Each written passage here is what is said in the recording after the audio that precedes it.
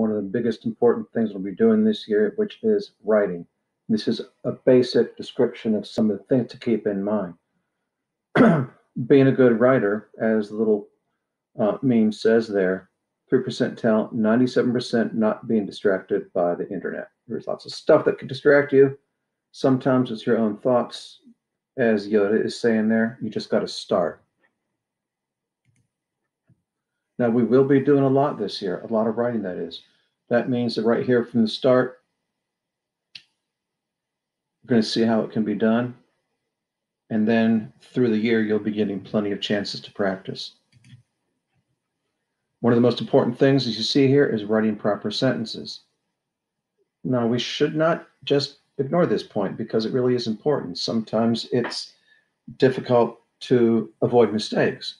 So they're not proper, you see how it does not start with a capital letter. There is no punctuation either through the sentence or in it. Then you see the letter D in do is capitalized. You like cookies, question mark. Then it starts the second sentence, capital I do, comma, with milk, period.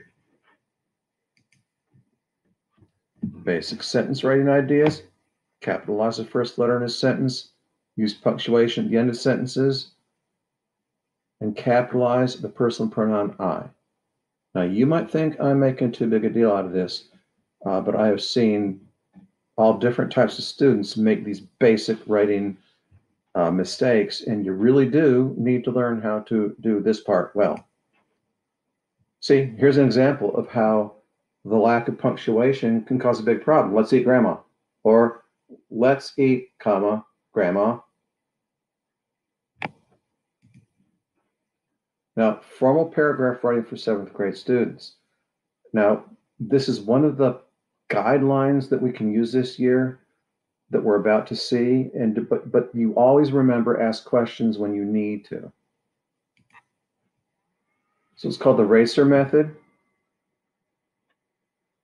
It is a good process to follow. You don't have to always follow each step, but it is a good process to follow. Sometimes we combine them we write the sentences.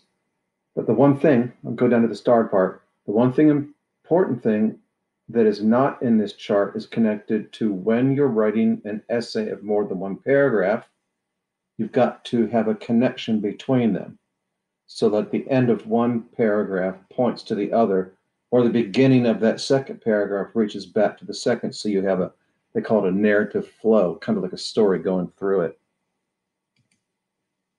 so the first part R, restate the question. Whenever you're writing to a writing prompt that asks a question, you restate it. You don't just mindlessly restate it, you weave it into the first sentence. Again, we'll practice all this stuff this year. Then you answer the question.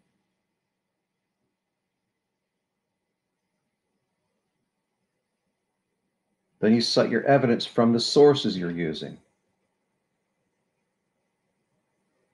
Don't worry, I'm going to give you an example up here in a minute. Then you explain your evidence.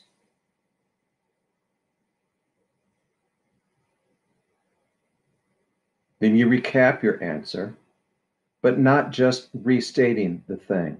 And never, never, never say, let me tell you. So here's an example prompt. Who was Staff Sergeant Reuben Rivers and what did he do? Well, you know something he did. If you recognize that medal, that's a Medal of Honor the highest military honor that can be given in the United States. So here it is. Again, the example prompt who was Sergeant Rivers and what did he do?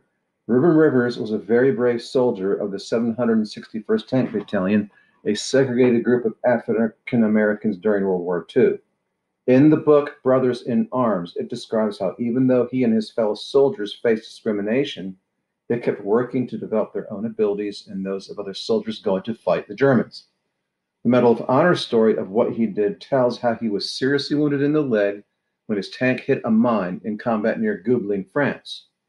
He refused to go to the doctors and took charge of another tank and continued fighting for two more days. Then he saw some hidden German tanks and tank destroyers. He started toward the Germans and opened fire, saying to his commander, I see them, we'll fight them. While he was providing covering protective fire for retreating white infantry and other tanks in the field, Rivers' tank was hit and he was killed.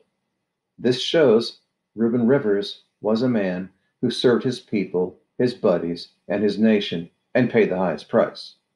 So if you stop and think about that racer method, a paragraph written like this follows all those basic patterns and you can totally do it.